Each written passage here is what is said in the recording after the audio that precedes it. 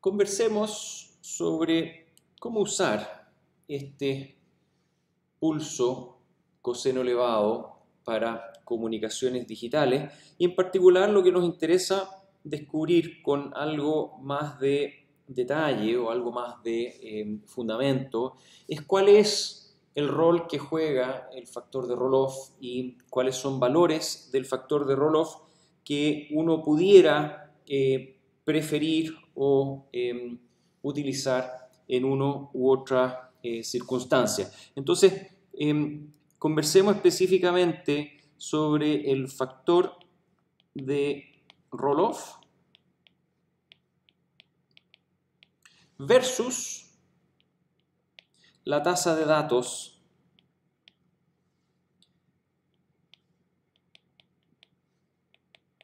de una comunicación eh, que se puede lograr con el pulso coseno elevado.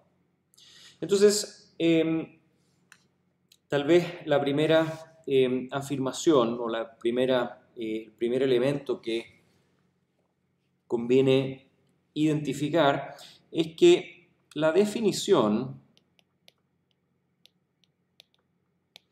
del pulso coseno elevado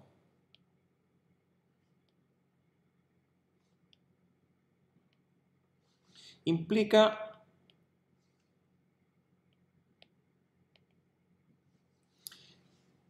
un ancho de banda variable.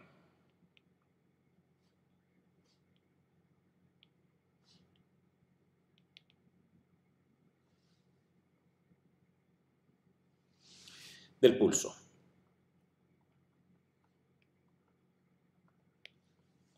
Claro, porque em, si volvemos a esta definición, según qué valor de beta se utiliza, el ancho de banda es ya sea 1 partido por 2t, o bien 1 más beta partido por 2t, o bien directamente 1 partido por t en el caso de beta igual a 1. Entonces tenemos un pulso con ancho de banda variable.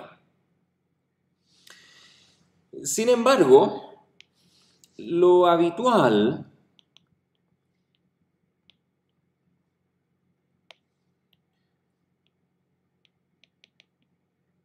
es que el ancho de banda disponible sea el parámetro fijo. Es que el ancho de banda disponible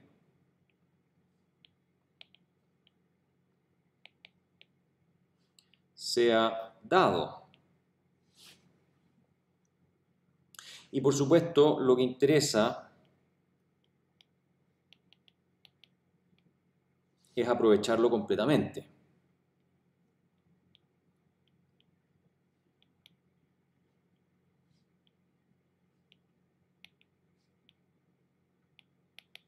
Entonces, la pregunta es cómo se logra esto variando beta. Entonces, ¿cómo se logra esto variando beta?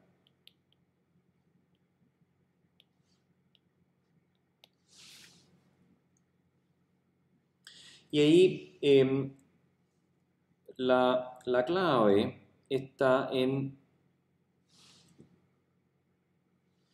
esta figura, en este bosquejo, donde acá tenemos frecuencia y vamos a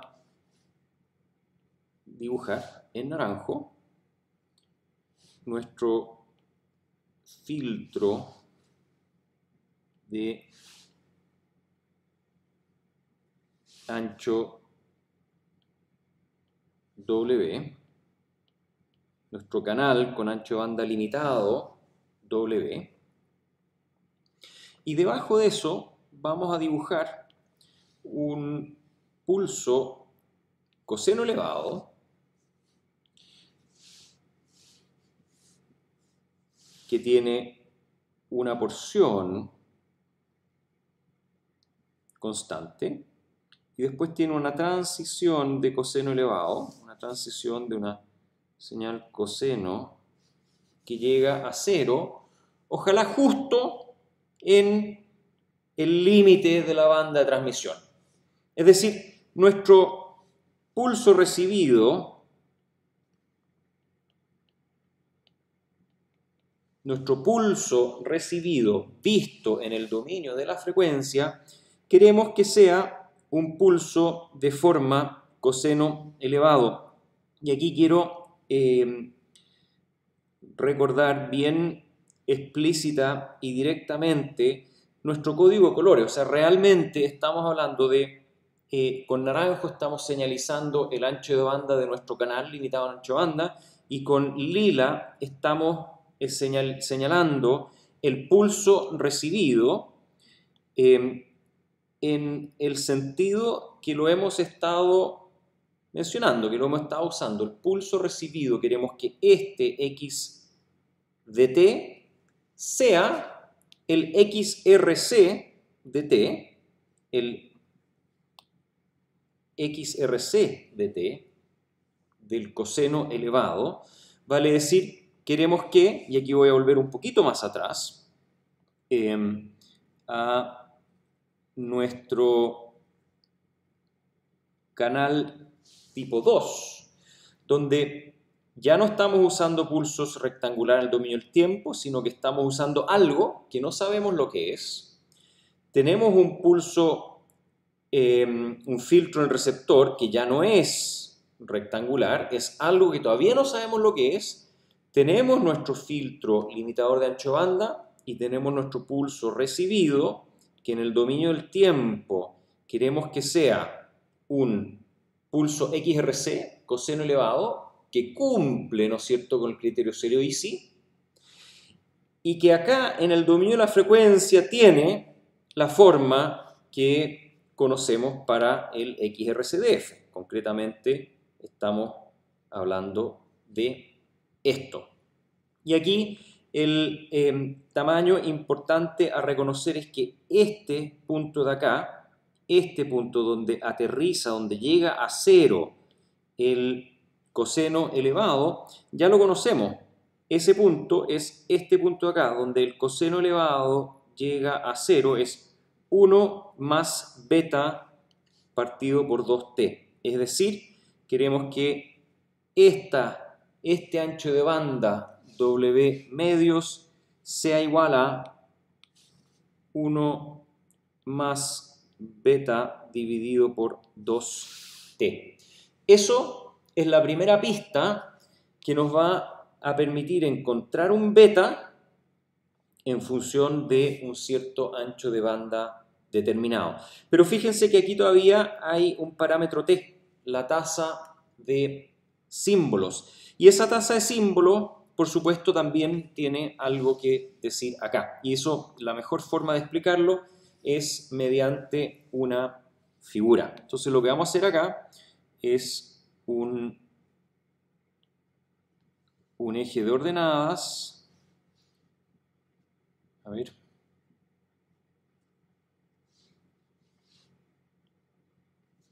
Ahí está. Un eje de abscisas.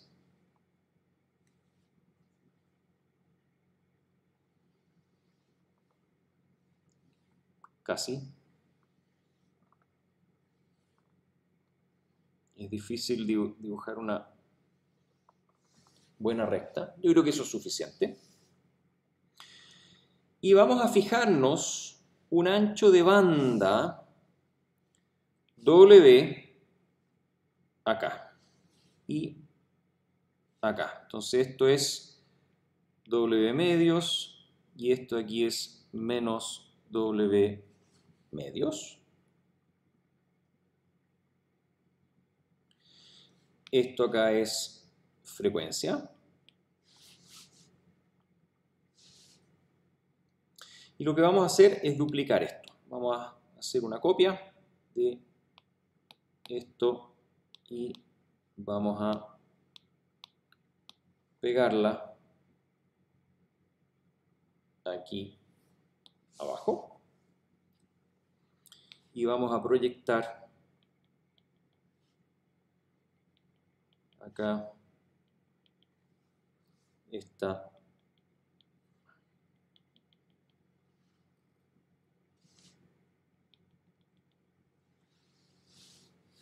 este ancho de banda em, entre los dos entre los dos gráficos para que coincidan. Bien. Entonces, supongamos el caso beta igual a 1. Ese caso es el caso en el cual tenemos esencialmente que el XRC es un rectángulo en frecuencia. Perdón, eh, es, eh, el, caso beta igual a 1 es el caso en el que tenemos un coseno elevado completamente suave que comienza en menos 1 partido por t y termina en más 1 partido por t. Entonces voy a dibujar nuestro pulso coseno elevado de esa forma.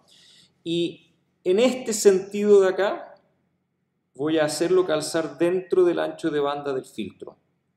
Es decir, el pulso comienza así, es un coseno y termina así. Tal vez la parte izquierda la necesito que esté con buena, con buena forma por lo que viene en seguida. Ahí está. Y esto implica, esto implica que tenemos en este punto de acá el valor de menos 1 partido por t. ¿Por qué? Por lo que habíamos dicho. La versión verde, que es la que estamos considerando ahora, aterriza, aterriza en 1 partido por t. Es decir, es un coseno elevado que acá aterriza en 1 partido por t. Es decir, tenemos una relación ya entre 1 partido por t y el ancho de banda. Ahora también ocurre que el punto medio, acá, el punto medio,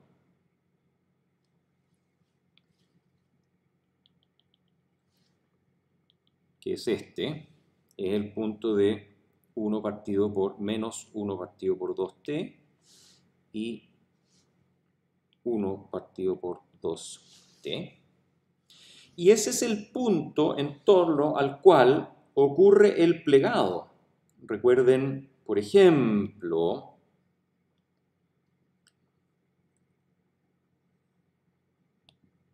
esta figura de acá, donde el pulso recibido que graficamos con alguna forma de distorsión en ese momento, se pliega siempre entre menos 1 partido por 2t y más 1 partido por 2t. También lo tenemos em, ejemplificado acá. Acá tenemos, ¿no es cierto?, que el, el intervalo en Nyquist es de ancho 1 partido por t, acá, y entonces siempre entre pedazos de menos 1 partido por 2t, acá, a más 1 partido por 2t más 1 partido por 2t, se genera el pliegue del pulso recibido. Entonces, en el momento en que se van tomando las muestras en el receptor, vamos a tener que este pulso recibido se replica centrado en múltiplos de 1 partido por t. Entonces voy a copiar ahora la curva lila que tenemos en pantalla y la voy a pegar corrida en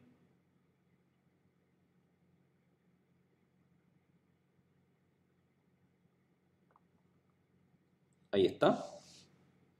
y le voy a cambiar el color, por ejemplo, mm, este acá,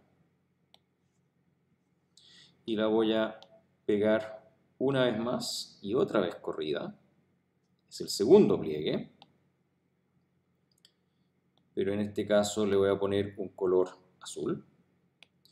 La voy a pegar una vez más. Estamos plegando el espectro recibido.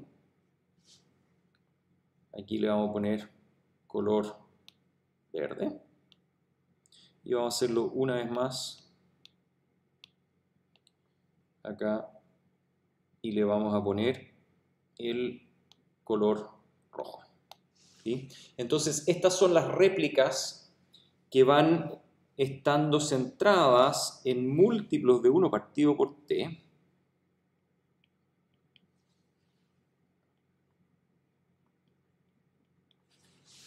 ¿No es cierto? Y que sumado verticalmente, todas estas réplicas generan el espectro plegado. Y debido a que tenemos un espectro con forma de coseno, el espectro plegado evidentemente resulta en un espectro plano. Entonces el espectro plegado es plano, así.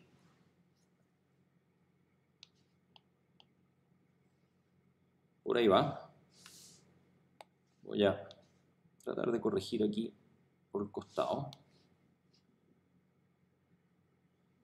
Ahí está. Es un espectro plegado plano.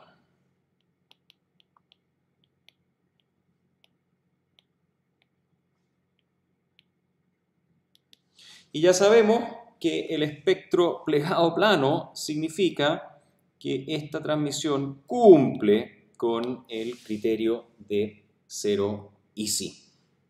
A partir de un pulso recibido, acá pulso recibido con forma de em, coseno elevado. Entonces esto acá es el pulso recibido.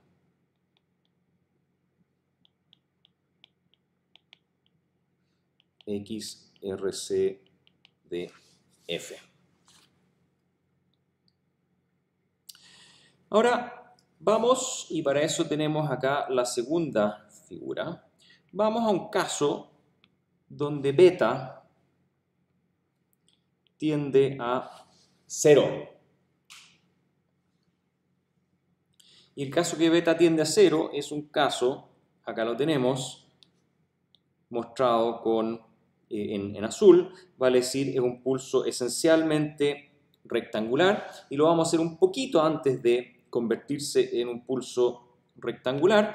Entonces, lo que vamos a tener en definitiva es un coseno elevado que aterriza en W medios, pero sube rápidamente y también cae rápidamente y tiene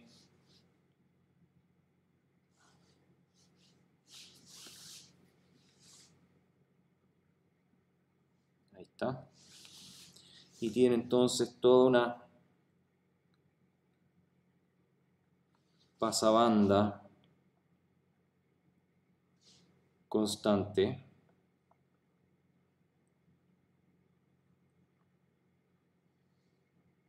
Ahí está.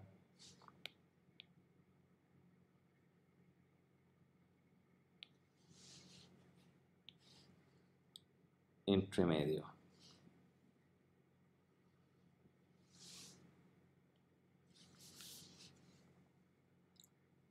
Entonces, cuando se genera la muestra en el receptor, en este caso de acá, ¿qué es lo que va a ocurrir? Em, veamos, veamos dónde está, en este sentido de acá, el valor de 1 partido por 2t. Porque 1 partido por 2t es donde termina el intervalo de Nyquist. Entonces, fíjense, está prácticamente ahí mismo, está en la transición del coseno. Entonces acá lo que tenemos es que en este punto de acá, aquí en la mitad, acá y en esta mitad de acá, aquí es donde está el valor de 1 partido por 2t. Y aquí. Y entonces el valor de 1 partido por t está aquí arriba. Y el valor de menos 1 partido por t está aquí atrás.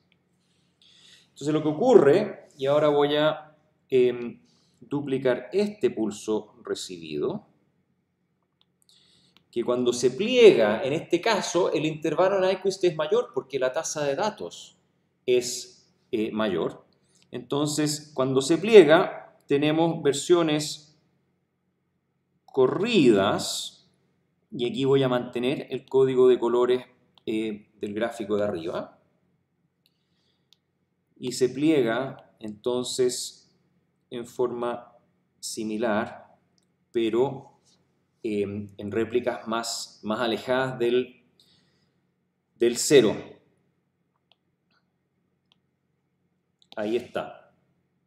Pero en cualquier caso, nuevamente, gracias a que una transición de subida acá se cruza con una transición de bajada del coseno elevado, acá la suma sigue siendo 1 y por lo tanto seguimos teniendo una situación de espectro plegado plano. Entonces, cualquier valor de beta entre 0 y 1, el pulso coseno elevado en frecuencia permite, permite un espectro plegado plano y en el dominio del tiempo la forma del pulso será entonces aquella que corresponde a ese valor de beta.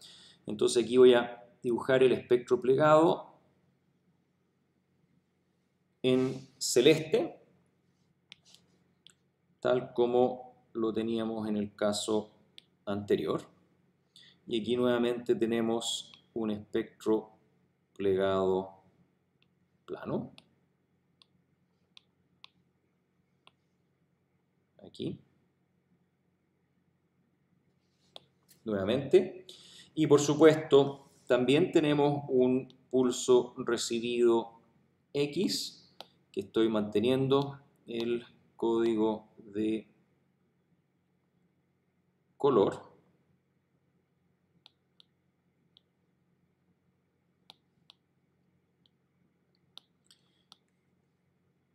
Que está ahí.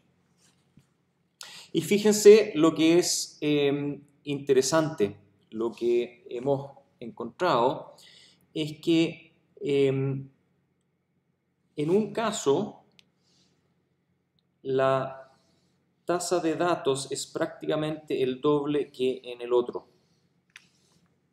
Esa es una observación muy interesante eh, y si de hecho podemos relacionar estos dos de acá, podemos ver efectivamente de que eh, las tasas de símbolo son distintas. También lo vemos acá, por supuesto, y tal vez ese es el lugar del gráfico donde se puede comentar bien ese elemento.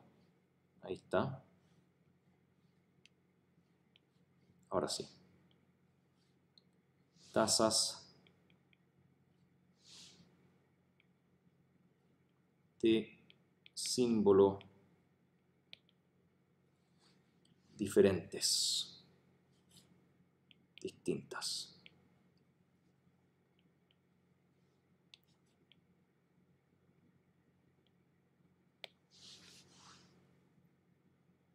Bien, entonces tenemos en este caso ahora, en vez de haber jugado como en este gráfico donde introdujimos el pulso coseno elevado, tenemos Em, en este caso donde el ancho de banda del pulso coseno elevado variaba con el factor de Roloff beta, ahora hemos encontrado una forma de mantener el ancho de banda del pulso coseno elevado y jugar en vez con la tasa de datos. Esa es la gran, em, el gran mensaje de esta cápsula y volviendo acá a esta relación de abajo, hemos fijado el ancho de banda y dado un beta hemos encontrado la tasa de símbolos adecuada o al revés, dado un ancho de banda y una tasa de símbolos deseado, hemos encontrado el beta que mejor se ajusta a esa situación. Y sobre esto hay un par de cosas por comentar y eso lo vamos a hacer en la cápsula inmediatamente siguiente.